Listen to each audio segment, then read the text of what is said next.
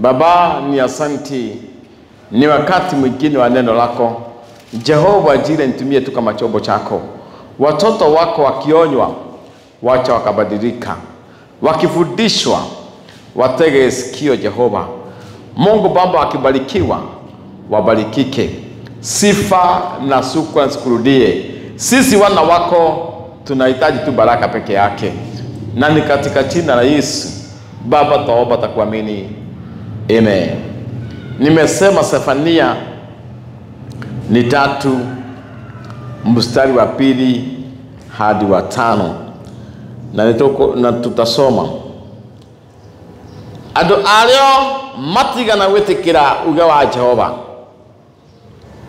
atu watu wa hiyo mji hawakukubali msemo wa Jehova. Ni mji mgani huyo? Watu hawakukubali msemo wa Jehova. Hata nchi yetu kuna watu hawakubali msemo wa Jehova, kwansia wewe. Haleluya! andå arä matigana gwathä ra uge wa Jehova ona kana magä tä kä ra gå tarwo hata hawakukubali mawaida, hawakukubali msemo wa Jehova, pia mawaida wakayakataa. Hao ndio wale watu tuko nao nchi yetu, kwansia wewe na mimi. Unajaribu kuambia mtu hii dada haifai kuwa namna hii, anakwambia Roho amesema. Unajaribu kuambia mtu dada haufai kuongea namna hii, anakwambia nimeota. Mbona sasa sivive? Kwa maana wale watu hawakusikia msemo wa Jehova, pia wakipewa mawaida walikataa, kwa sababu ni wajuaji kama mimi na wewe. Haleluya! Andå arä a matigana gwathä kä ra uga wa Jehova ona kana magä tä kä ra gå tarwo matigana kå mwä hoka ona kana magä thengerera ngai wao hata hakuamini ama akakaribia Mungu wao. Mtoto wa Mungu, kama naamini Mungu wako, mbona natumia mafuta? Kama naamini Mungu wako, mbona natumia msumari? Kama naamini Mungu wako, mbona natumia kiberiti? Mbona, kama unaamini Mungu wako, mbona anatumia maji? Kwa sababu ya nini? Yewe mwenyewe hakuamini Mungu wake, ndio anachukua kitu ingine ainamia mahala pale aifanye kama Mungu wake. Asifiwe Bwana.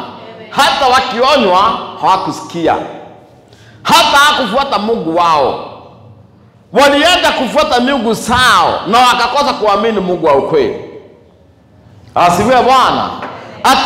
Wa mji hawakutii amri ya Bwana, wa mji hawakusikia wakionywa kuhusu Mungu, lakini walifuata dhamira zao na akafuata mambo zao, kwa sababu hakuchua Mungu aliye juu mbinguni ni nani. Number two. No, number three. Anana arĩo arĩa marĩ o kũu thĩinĩ warĩo rĩ marũgamaga o ta mĩrũthi no anene arĩo arĩa marĩ o kũu thĩinĩ warĩo rĩ marũgamaga o ta mũrũthi wale watu tuko na wao ukiwaambia ukweli wanakaa kama shiba. Kila kitu anajua. Unajua shiba ni yule mnyama anakuwaga mfalme. So kama amelala anajua kila mnyama atamtii na kila mnyama anamwogopa. pia hawa watu wanakaanga kama simba. Wao wenyewe wanafuata dhamira zao, hawezi wakatii amri na sheria za Bwana, wanajidhamini sana, na watu ndio hawataki ukweli.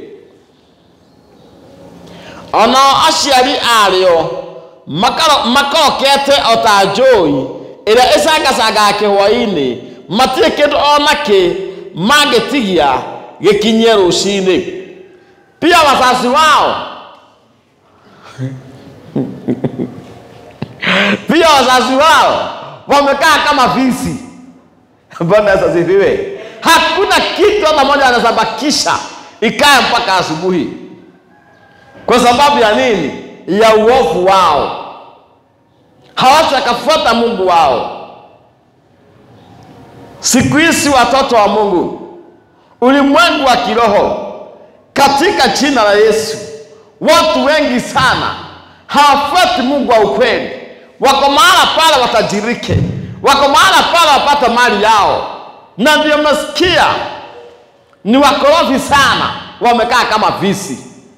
Kimomo anasema hata wewe sio mimi, mimi sio fisi. Haleluya! Eh, mimi nabakishaga ikae mpaka asubuhi. Hao ni wale wanakulaga yote, hakuna kitu anabakisha hadi anaitwa fisi.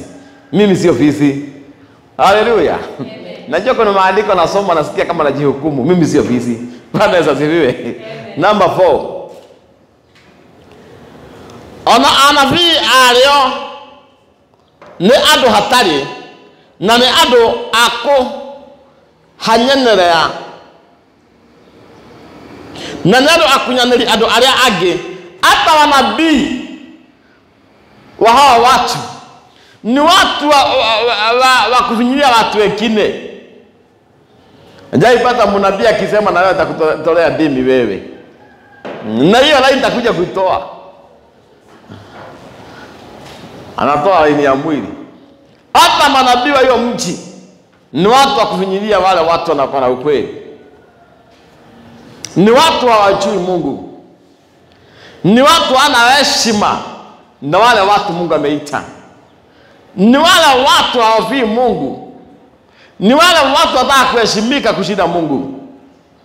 Asifiwe Bwana. Hiyo namba ine, angalia tena hapo. Anabii alio ni andu hatarĩ, watu bure na andå a kũhinyĩrĩria andũ arĩa angĩ, na athĩnjĩri Ngai arĩo nĩ mathahĩtie handũ harĩa haamũre na magathũkia watho makauhotomia.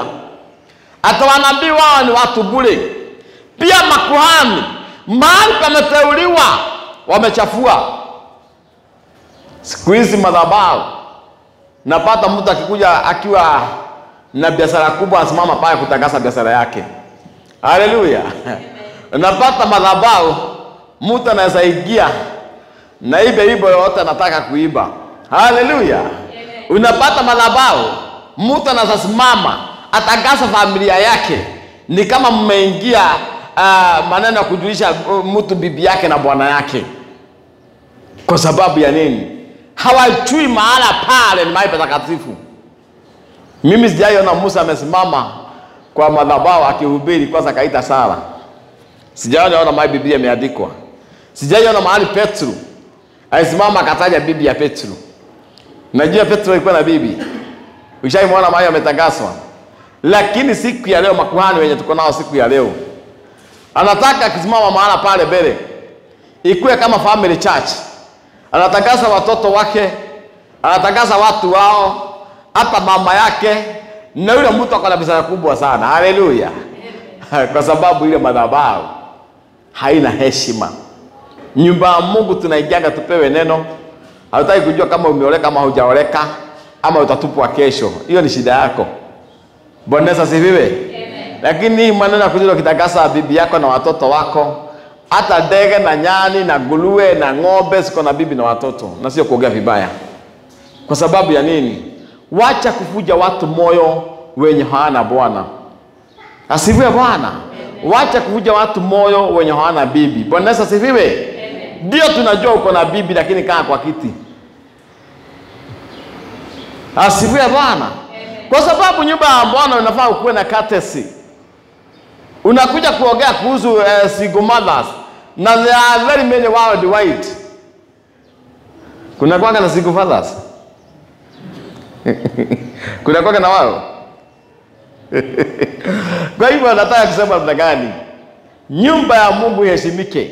Kila mtu akiingia na hilo mlango amekuja kusikiza neno, hataki kujua umeoleka, hataki kujua umetupwa, hataki kujua utatupwa kesho.